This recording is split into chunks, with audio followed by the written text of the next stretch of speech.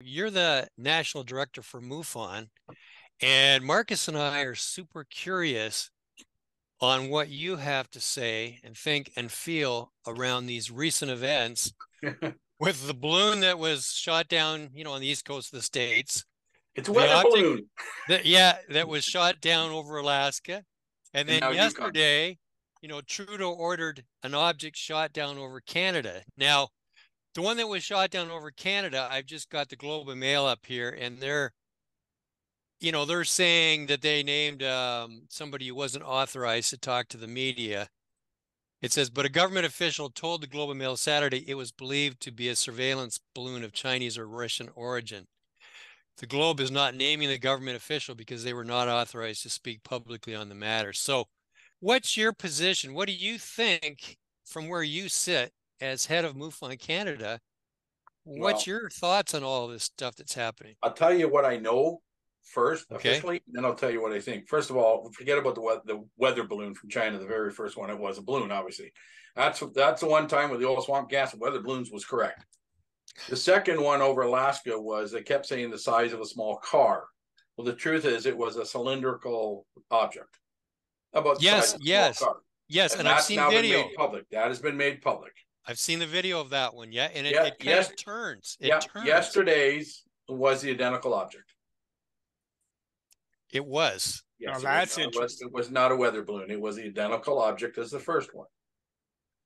And that's, Okay. that's official, not official. It's not public knowledge yet. That is a ruse to tell you it was a weather balloon. That is not the truth. Okay, now Dave, I've seen video of the one over Alaska and it tumbles. It Yep. turns. Yeah. Now, if it's a balloon, like, you know, for years I flew hot air balloons. They don't tumble.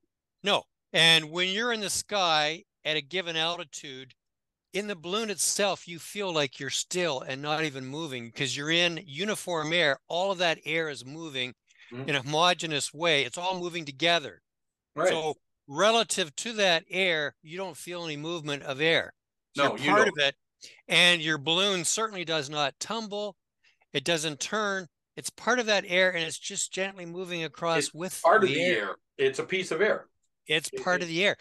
So when I saw that video where this is tumbling, wh- what does that tell you? It tells me it was a UFO or UAP. And uh, I mean, Rob, your analysis is right. Think about you're sitting in a car. The car is doing 100 kilometers an hour. Is your body doing 100 kilometers an hour? Yes, but do you feel it? No. You only feel it when you look out the window and see everything flip zipping by.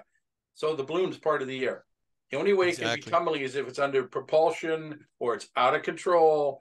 Uh, it's going against the winds. It's it's got uh, you know an, an envelope around it that uh, takes the disturbances of the wind and moves it around so it's on its own. The first one definitely was as uh it was almost the same as a tic tac. Oh boy, what's that? 2014, eh? Tic tac off the Nimitz. Um, so yesterday is unofficially confirmed to be the same, uh, out of control something. I can't wait until our government might release something, yeah, with American approval, right? We're not going to hear anything. We're not going to know. Um, we're not invited to participate, obviously. Uh, so I don't know what's going to happen, but two in a row kind of makes you wonder what's going on. And the fact is, everybody can say, look, if it's a UFO, they wouldn't be able to be shooting shooting them down. Yeah, well, if it's an unmanned uh, drone uh, from a mothership, you know, to spy, just like China sent their spy balloon, or to gather intelligence or gather something, energy, you minerals, who knows? We don't know the technology so far ahead of us. Um, you know, and I'll, I'll stop right there and say, how did they know it was unmanned? By the way, both unmanned. That's why they shot him down. Here's a thought for you. You know, the Tic Tac. Yeah. It went from 30,000 feet to sea level in a second. Yes. Now, when I talked to Lou Elizondo about it, he said, Rob, there's two different references here.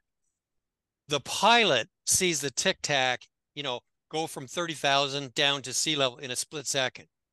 Now, if you move yourself to the other reference of being in the tic tac, say there's occupants in the tic tac, what they see and feel is very different. This is what Lou told me. He said they can manipulate space, time, and gravity. So when they look outside their craft, they see you know, all these guys in their jet fighters almost sitting there still or Mhm. moving incredibly slow.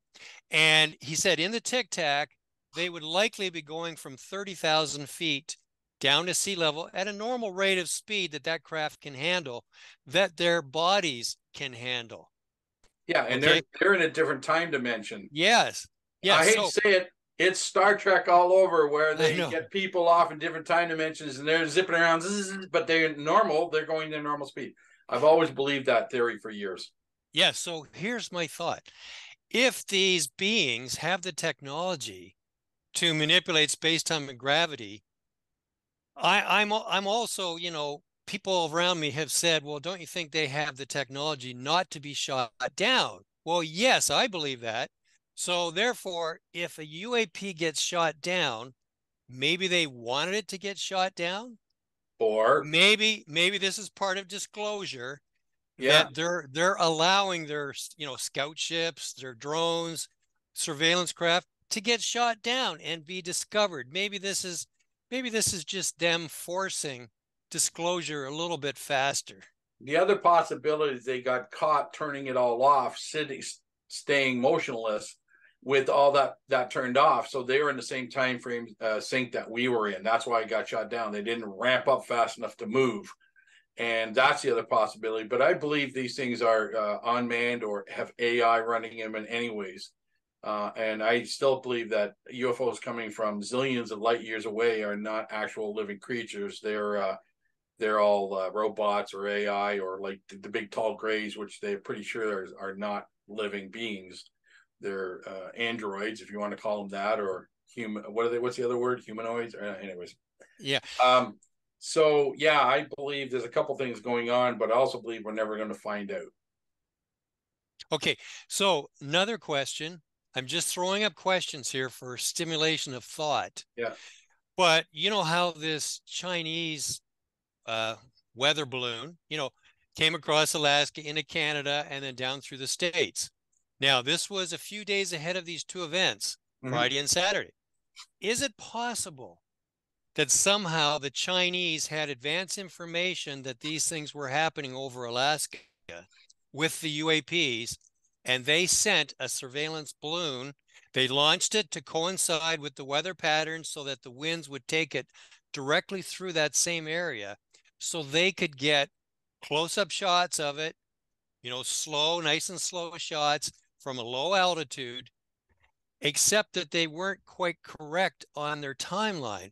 Or Well, maybe no, they may, maybe they maybe they do have shots of it, and maybe these two Friday and Saturday have just been discovered by the US and Canada. Maybe there was many more that this China balloon have already photographed and gotten instrumentation on. Is Yeah. that possible? Oh, it's that quite possible. It's quite possible because I would launch a balloon because it's slow and steady and it's above no threat to the UAP. Whereas every time we said fighter jets, and they move all over the place, right? They they could see that that balloon and go, ha, "What's this?" And just ignore it. Exactly. And They may think it's a weather balloon. I mean, it was Yeah. set up to appear as a weather balloon, right? So if the Chinese had knowledge that this was going on and sent something to to uh, do surveillance on these UAPs, then yeah, the weather balloon was a fantastic idea. But weather balloons have no propulsion or control of propulsion, and they're unmanned. So yeah, I think they screwed up the timing. But who knows what it was? Maybe they were just trying to spy on everything. Who knows? I mean, there's quite a war going on back behind the scenes between Canada, China, U.S. and China, UK and China, um, and of course, all because of China trying to, you know, take over Taiwan. Yeah. Uh, Now, also, you, you know, we're going to have many people say that this is the start of the false flag operation. Quite possible. and that this is, you know, it's all just government setting all this up so that the public will get behind the government and give permission to open up the purse strings for military spending. in space. Which, yeah, what's your Well- thoughts around this? Well, they kind of did that a little bit with NASA's little group that was supposed to look at uh, anomalies outside of the Earth, and they're supposed to report back by now. They have not. Now I'm hearing it's going to be April. AARO was supposed to report back on something again. Now I'm hearing it's also April to co- coincide with the NASA report. So is disclosure coming, or is this false flag? It's going to be one or the other, nothing more. Okay, I can't think of any other possibility. It's going to be full disclosure. It's going to be a false flag to get money, get due. You know, military makes money. Uh, it's it's all about funding.